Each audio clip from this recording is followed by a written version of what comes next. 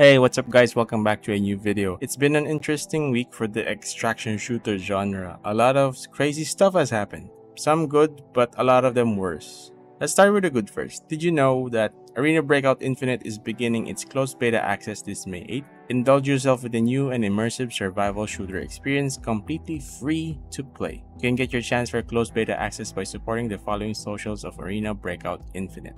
See what I did there?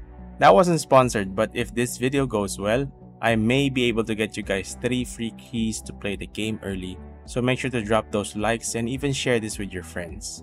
So even if I can't play this game because of my hardware limitations, I will do my best so that you guys can play it instead. There have been really great games recently introduced to the looter shooter or extraction shooter genre.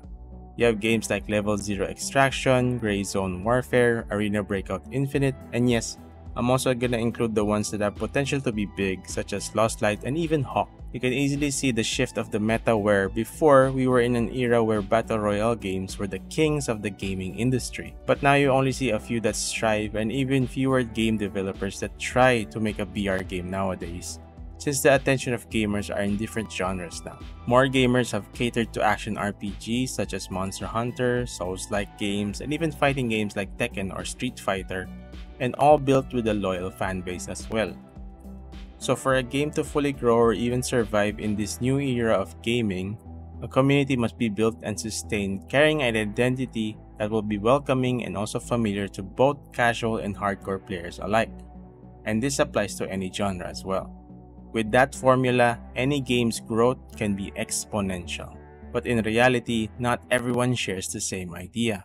Now, I don't really share much from the Bible, but this verse really resonates with me with how awful the decisions are being made right now. For those who don't know, Escape from Tarkov just announced their Unheard Edition. So to be able to play EFT, you need to purchase an edition of the game, and these editions are a way to support and fund the continuous development of the game, and each edition comes with benefits for the player apart from the access of the game itself. Each edition has their own benefits with examples like extra storage, faster progression. So in a way, it kind of models a pay-to-win scenario but in a minor scale and that's why it's not really emphasized as much. Before, there were 4 editions available. We had the standard one, the Left Behind edition, Prepare for Escape edition, and the Edge of Darkness editions.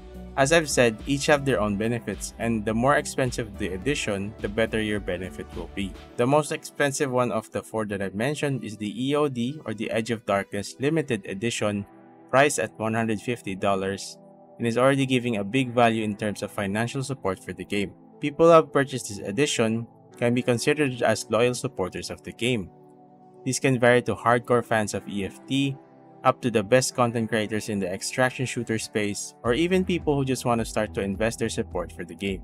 As of today's recording, the EOD edition does not exist anymore and instead replaced with the Unheard edition. But before we go into pricing, the Unheard edition comes with the following notable features. First is you can play offline with your friends with PvE mode with no wipe progression. You get an asset flip knife, you get highest increase in stash or storage, more PMC pockets, increased character skills on the start and better starting equipment, increased fence standing which means scavs won't shoot you in a certain distance, more flea market slots, early access to test servers, and free access to all subsequent DLCs. So pretty much the same benefits that the EOD edition had, just with some additions such as access to an offline server and the usual early progression advantage over other players. But here's where it becomes really bad. The Edge of Darkness edition worth $150, which is already big in my opinion, is now replaced with the Unheard edition where it's worth $250. That's a $100 increase to an already overpriced edition of the game. Now for me, that's just too much to ask for and this already paints a picture of a pay-to-win scenario, as this edition gains the most advantage above everyone else. Now I may not be the best person to talk about this since I've never played Tarkov before, but let's hear it from someone else, or better yet, let's hear it from the outcry of the community themselves. Now this is a still screen capture of the Discord of EFT. I said still because this chat is not stopping. Everyone is copy pasting the same amount of text and its contents as a protest against the decision that the developers have made. The copy pasta reads, Since 2016, players have supported the developers by purchasing the highest edition of the game. For 8 years, we've been recommending this game to friends, bringing more and more players to the community. And what was the developers' response? They've blown us off, refused to comment, and only encouraged those who have lost all respect for themselves to continue to pour money in. I had personally had high hopes for Tarkov. In my eyes, it was a high quality and most ambitious product in the entire market. This is unacceptable, this is selfish, this is disrespectful. You've disgraced yourselves completely.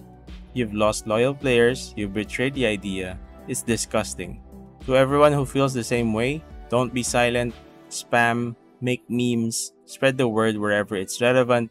This cannot be tolerated. So that kind of sums up how the loyal EFT community has reacted towards this new update. The outrage also appears from content creators of EFT that have been loyal and consistently making content for the game for years. Content creators such as Pestily. I post this because I thought it was funny. It's like pretty much, I kind of like in my mind, I was seeing it as like Nikita burning down the kingdom. If you've seen Game of Thrones, you'll understand the reference. And then I pretty much walk out for the day and I made a couple of tweets and stuff about DreamHack because um, I was doing a panel on that. BSG came out a little later on, did a tweet uh, talking about how they're going to add all this stuff in for EOD. Honestly, I didn't even really read it out that much, but I knew instantly the second I saw high priority um, matchmaking for six months and access offline to PvE EOD owners six months. I just give people what they want. Like honestly, if I could just say it right now, BSG really could solve this quite quickly. If people they want to put a $250 price tag on anything, they can do that. Like people can be willing to pay it if they really want to. But the fact that, and I could be wrong in saying this, but I believe that EOD owners, including myself, feel ripped off when they think they're going to buy a version of the game and they shouldn't have to pay any more money post that to get features of the game. So, for example, the offline co op progression. Now, in my mind, and I could be wrong in saying this, but I don't understand how if a game can cost 150 bucks, if they're wanting to charge $100 specifically, because there was a tweet about this, they want to charge $100 specifically for the offline co-op. They're charging full price for like, it's almost like a mod to a game and it just doesn't make sense. So really that should be just like a $20 DLC at best and should be accounted as part of the EOD. And then on top of that, I only think they, they could have put this version at $160 and got $10 off every single EOD owner and every EOD owner would have been like, oh well, at least it's only 10 bucks you know, like there's so many other ways they could have skin, skin a cat here to make it better. But let's leave it at that. They fucked up. It's up to them to solve this. It's not like I don't see that happening. LVNDMARK. So yeah, not a fan of this. The actual gameplay changes they made in the patch were good. The this edition I think is garbage, and they should be monetizing the game through, you know, the normal methods. Like just make some cool cosmetics for people to buy. Don't add junk like this that is giving people in-game stuff and it's not pay to win, but you're giving people stuff that doesn't really belong in the game and just make cool cosmetics, add stuff like that that doesn't affect the game directly. If you want to monetize it further, do it like everyone else that does it. You know, we've seen a million games that monetize completely fairly. I don't see any reason to be doing this. That's just my thoughts. You could disagree. Maybe some of this stuff will come out a bit more and it uh it won't end up being a big deal. I don't think it will be, but I just don't like the road that they're going on with things like this. I was I already wasn't really a fan of EOD edition. And this is kind of just expanding on that in all the worst ways. And more expressed their displeasure of this update. Issues and shady moves from Battlestate Games, the developers of the game, and we won't dive in too deep there, but if you do want to, you can binge watch this video to gather all the details of the unfolding issues. Battlestate Games are the creators of EFT and have been somewhat failing on both ends, as they have launched this overpriced pay-to-win edition, according to Forbes, and now they're also making a mess on social media. Here we see them calling out Arena Breakout Infinite and dropping words such as plagiarism and belittling the game before it even comes out. Although this may be a jab from BSG's end, this just makes Arena Breakout Infinite look even better.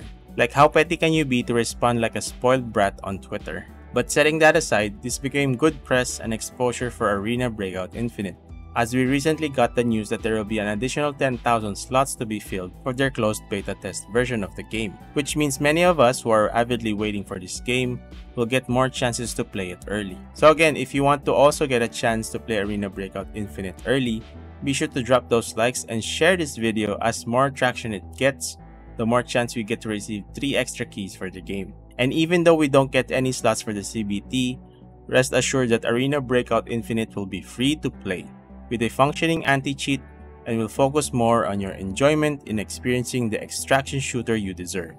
That's $250 saved. Now here's where I leave it to you. What are your thoughts about all of this? Let me know in the comments below, let's start a discussion, and also if you're new here, don't forget to subscribe. Thanks so much for watching and I hope to see you in the next video. Thanks guys.